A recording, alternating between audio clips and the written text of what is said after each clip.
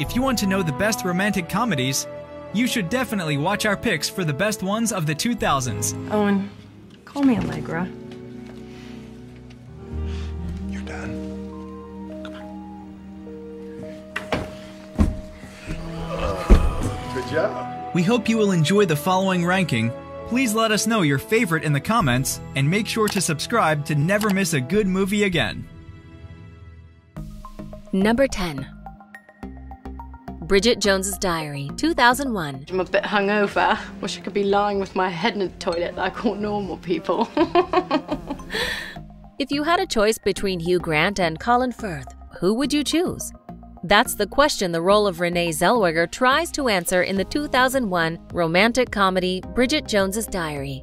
Directed by Sharon Maguire, the movie is based on Fielding's 1996 novel of the same name, which is a reinterpretation of Jane Austen's Pride and Prejudice.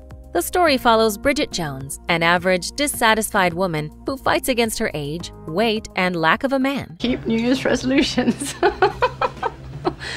Oh, and uh, stop talking total nonsense to strangers. In fact, stop talking full stop.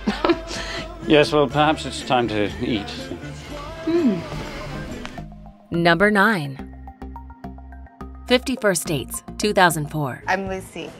Yes, I'm Henry Roth. Nice to meet meet you. you. It's pretty. Keep up the good work. 50 First Dates is a 2004 romantic comedy film directed by Peter Segal and stars Adam Sandler, Drew Barrymore, Rob Schneider, and Sean Astin. In this dark and cynical comedy, we follow veterinarian Henry Roth, who, let's just say, enjoys the adult single life from day to day. But when meeting the woman of his dreams, Lucy, he completely falls for her.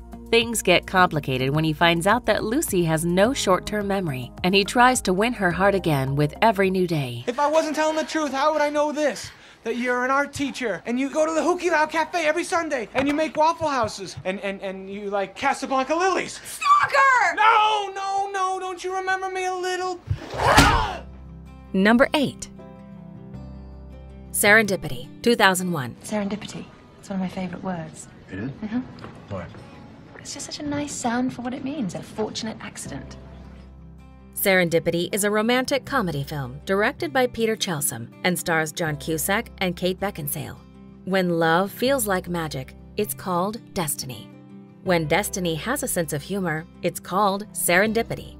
Or at least that's how one would describe the fates of two young lovers who lost track in their 20s after spending a magical night together. But 10 years later and 3,000 miles between them, serendipity may call one last time. No, you do. Yeah, Fate's behind everything. I think so. Everything's predestined. We don't have any choice at all.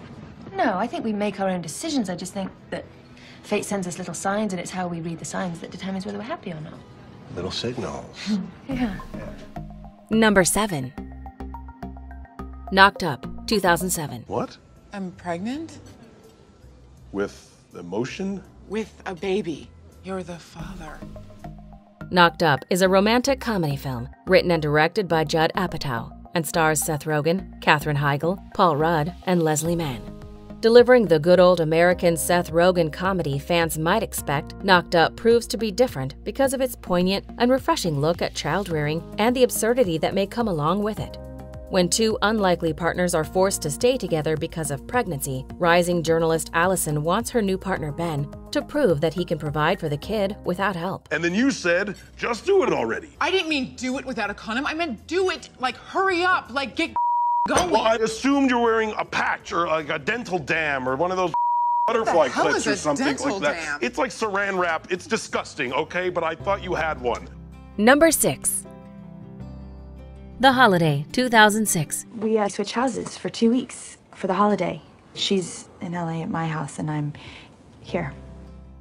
The Holiday is a 2006 romantic comedy film written and directed by Nancy Meyers and stars Cameron Diaz, Kate Winslet, Jude Law, and Jack Black.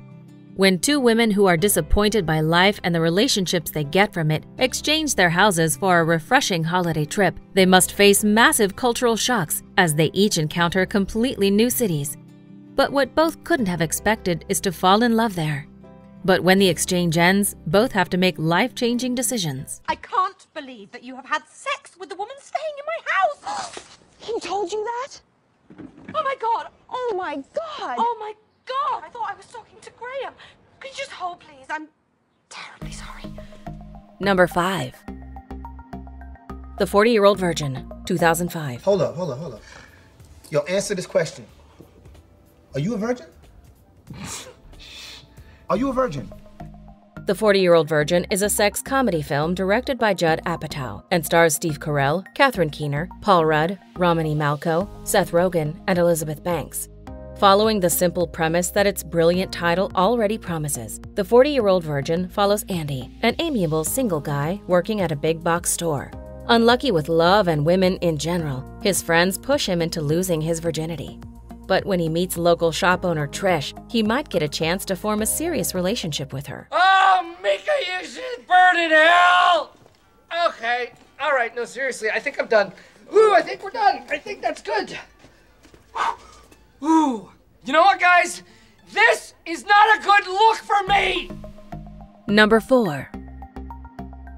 Definitely Maybe, 2008. 425 you pay $4.25 for a pack of cigarettes. They don't put as many chemicals in them. So those are healthy cigarettes.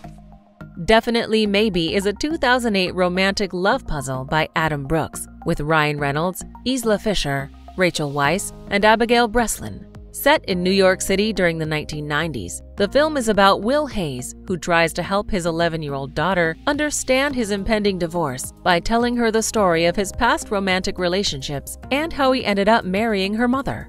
Setting off a hearty comedy about the romantic entanglements with three women, Will realizes that he may still have a chance at a happy ending. Why why are you so concerned with all of this anyway? Because I want you to be happy. You know,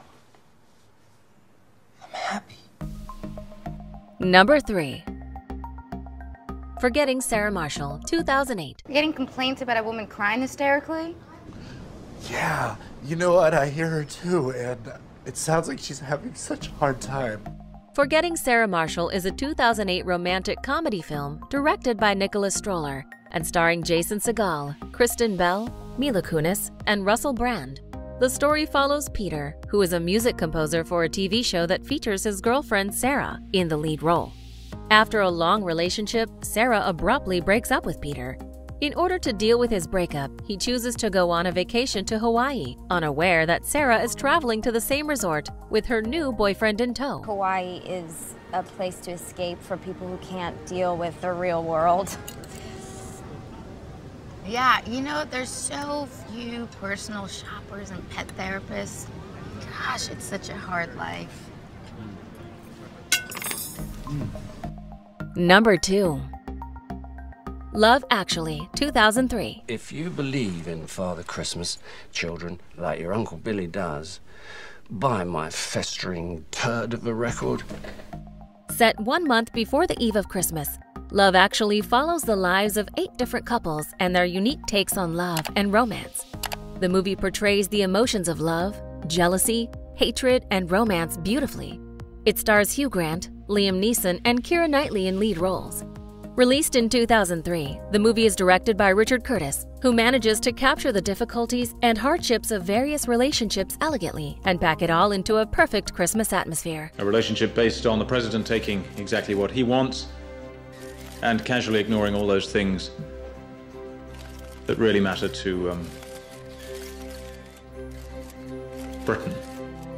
Before we unveil movie number one, here are a few honorable mentions. I mean, you're sending all the right signals. No earrings, heels under two inches, your hair is pulled back, you're wearing reading glasses with no book, drinking a Grey Goose martini, which means you had a hell of a week and a beer just wouldn't do it. And if that wasn't clear enough, there's always the fuck off that you have stamped on your forehead.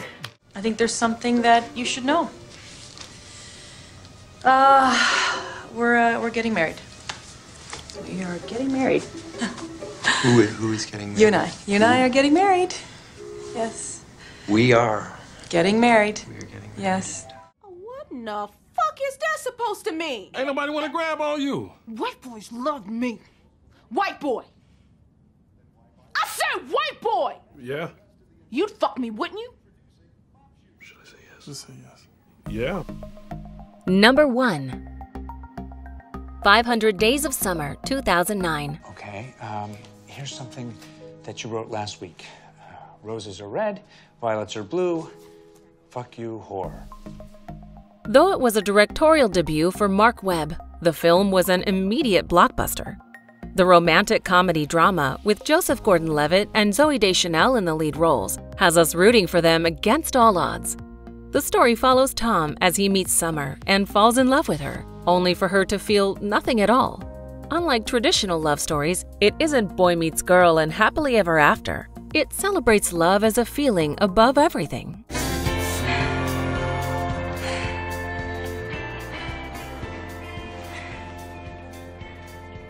Darling, I don't know how to tell you this, but there's a Chinese family in our bathroom.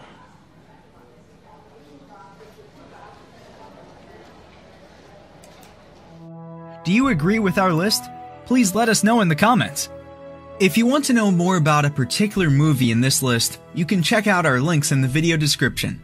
And for more top 10 movie videos, be sure to subscribe to Community TV.